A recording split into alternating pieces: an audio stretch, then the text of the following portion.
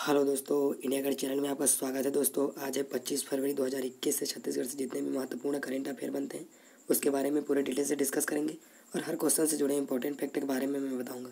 तो वीडियो को आप पूरा ध्यान से देखिए। आज का वीडियो का पीडीएफ हमारे टेलीग्राम चैनल से जुड़ के प्राप्त कर सकते हैं। टेलीग्राम का लिंक नीचे डिस्क्रिप्शन में दे रखा हूँ। तो चलिए वीडियो शुरू करते हैं।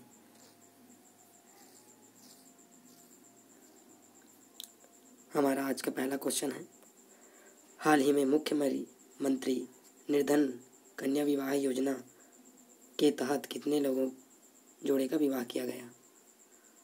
तो इसका करेक्ट आंसर हो जाएगा डी दो सौ चालीस जोड़े का। क्वेश्चन के स्पष्टीकरण देखते हैं।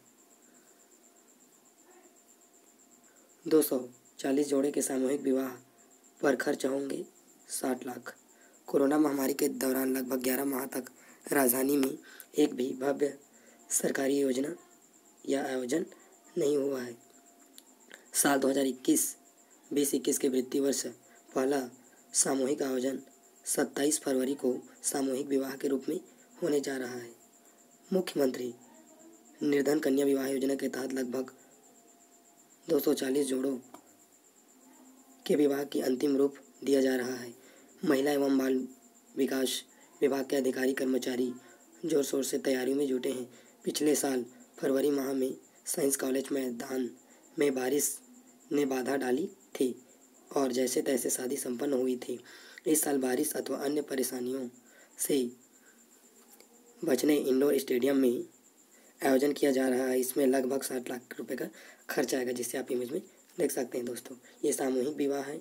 इसमें साठ लाख का खर्चा आएगा और दो सौ चालीस जोड़ों का विवाह किया जाएगा। चलिए नेक्स्ट क्वेश्चन की ओर बढ़ते हैं। छत्तीसगढ़ करेंट अफेयर का हमारा नेक्स्ट क्वेश्चन हाल ही में senior national power lifting championship gold medal किसने जीता है? तो इसका करेक्ट आंसर हो जाएगा सी जे रामा लक्ष्मी ने जीता है। क्वेश्चन के स्पष्टीकरण देखते हैं। रायपुर मंडल की जे रामा लक्ष्मी ने जीता senior national power lifting championship में gold medal power lifting India द्वारा आयोजित senior national power lifting championship में दक्षिण पूर्व मध्य रेलवे रायपुर मंडल की महिला खिलाड़ी जे रामा लक्ष्मी ने गोल्ड मेडल जीता।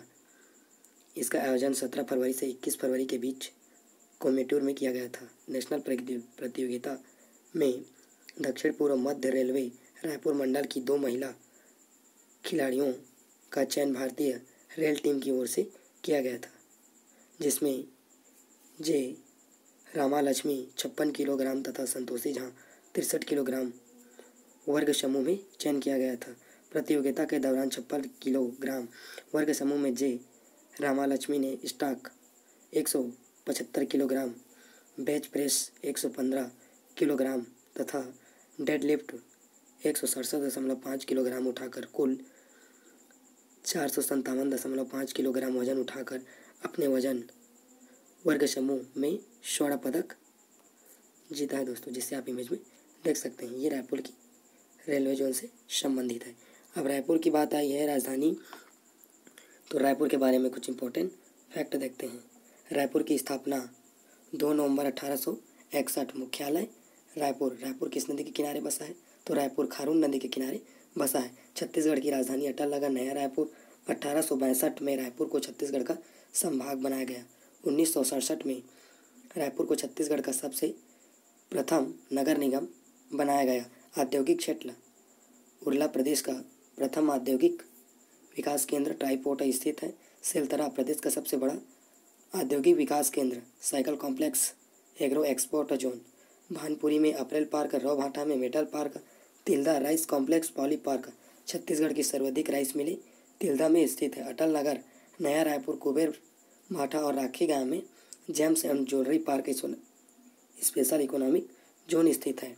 आईटी पार्क आईआईटी स्थित जंगल सफारी मड़वा ग्राम में स्थित है परसदा वी नारायण सिंह, अंतर्राष्ट्रीय cricket stadium, Nagarjuna construction Hyderabad द्वारा निर्मित किया गया है। NIT, national institute technology, NIT का पूरा नाम रायपुर, पंडित दीनदयाल आयुष स्वास्थ्य एवं चिकित्सक विश्वविद्यालय रायपुर, ऑल इंडिया मेडिकल संस्थान एम्स एम्स कहाँ है? तो रायपुर में स्थित है, आईआईएम, रायपुर मैट्स विश्वविद्यालय गुल्लू आरंग।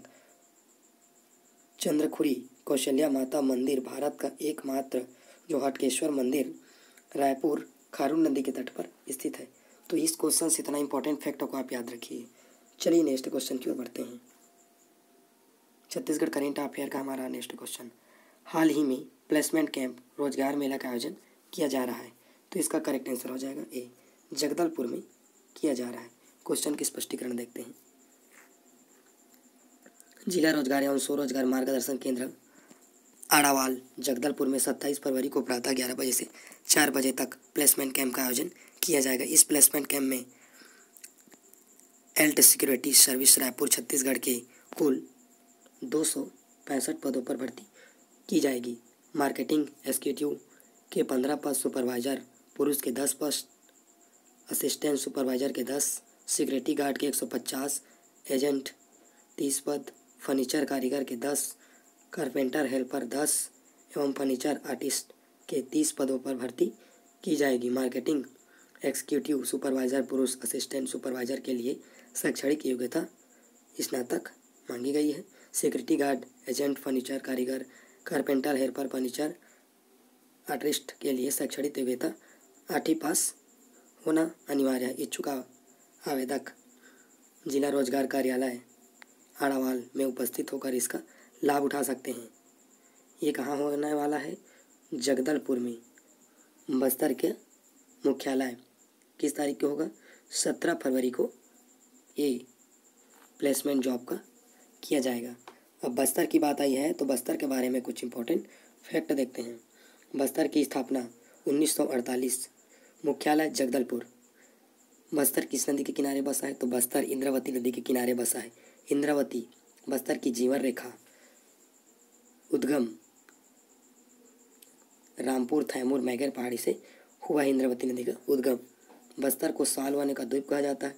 जलप्रपात, चित्रकूट, इंद्रावती नदी पर है। तीरथगढ़ मुनगा बहार नदी पर स्थित है।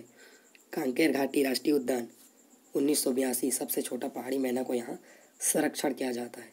भैंसा धाम मगरमच्छों का प्राकृतिक स्थल, शरण स्थल जगदलपुर, चौराहों का शहर रुद्र प्रताप देव काकती वंश द्वारा बसाया गया है। दलपत सागर प्रदेश के सबसे बड़े क्षेत्रफल के अनुसार गोचा पर्व आषाढ़ माह में आयोजित किया जाता है। काकती राजा पुरुषोत्तम देव द्वारा इसको प्रारंभ किया गया है। बस्तर का दशहरा विश्व में सर्वाधिक पचहत्तर दिनों तक चलने वाला दशहरा है। खनिज, हीरा तोकपाल से प्राप्त किया जाता है। बक्साइड आसना, तारपुर से अभरक दरबा घाटी से बस्तर में हस्तशिल्प कॉम्प्लेक्स की स्थापना की जा रही है। बस्तर में उन्नीस सौ बहत्तर में लर्न जातीय म्यूज़ियम को बसाया गया। तो इस क्वेश्चन से इतना इंपॉर्टेंट फैक्टों को आप याद रखिए। एग्ज़ाम में ऐसे क्वेश्चन पूछे जाते हैं। तो ये वीडियो आप लोगों को कैसा लगा दोस्तों? कमेंट बॉक्स में ज़रूर बताना। यदि मेरे इस वीडियो से आपको हेल्पफुल मिला हो तो मेरे चैनल को सब्सक्राइब करें like share comment thanks for watching India गढ़